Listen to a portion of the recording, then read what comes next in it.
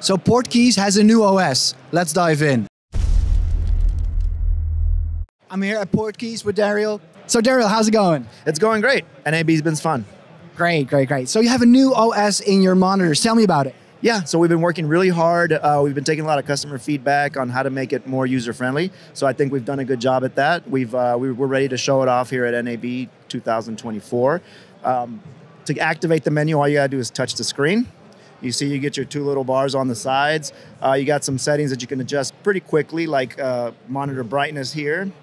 And you can also tap that and change it to the fan speed. So you can control the fan speed of the monitor. Since this monitor has 2200 nits, it's very bright. Um, so you can actually control that fan speed. If you want silence, you can turn it all the way down. Um, also, if you look at the little picture of a chain link, means connection. So you click on that, and you can select how are you going to connect to the monitor since this supports wireless uh, camera control. Um, talk about camera control. This is a Komodo. I know you support that. What other cameras do you support? Well, we uh, pretty much almost support everything. Uh, before, the only manufacturer that was missing was Arri. Uh, but we've added that now. So the new software updates, uh, we're going to add Arri wireless camera control. Um, other than that, we have Canon, Panasonic, Sony, um, Zcam, and we also support the Tilta um, wireless follow focus as well. So you can control that via the monitor. Whoa, that's amazing. You're really stepping up your game with that. Nice. Thank you.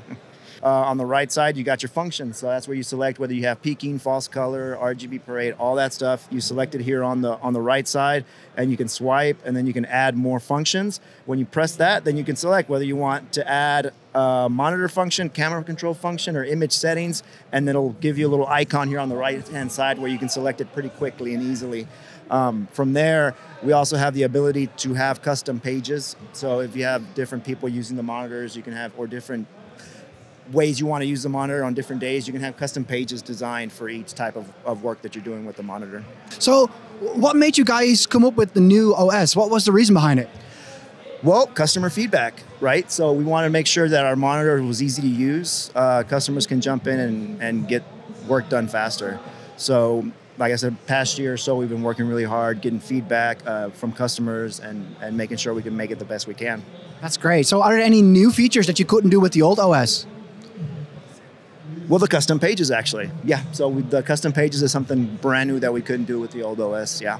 I can imagine that's super functional, especially if you share a monitor between uh, like a focus puller and an operator. Correct. That's exactly why we did it that way. Yeah. Amazing. Mm-hmm. Um, and so this was a touchscreen monitor. Is it possible to maybe in a later stage get this in the one of the non-touchscreen monitors as well, the new OS? Uh, it's going to be on a model by model basis. So we're working on obviously all the new models going forward are going to have the new OS. Uh, anybody who has some of the older models, it's going to be on a monitor per monitor basis of how that upgrade is going to work.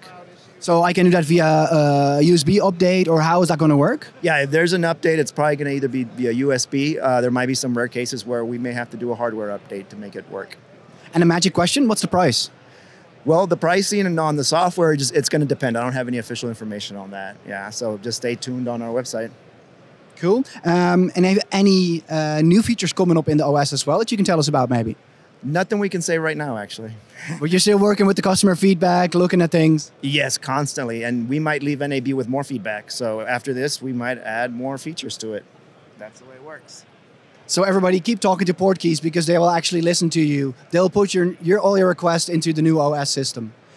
Thank you so much for having this conversation. This is Joost for DIYphotography.net at the Portkeys booth NAB 2024.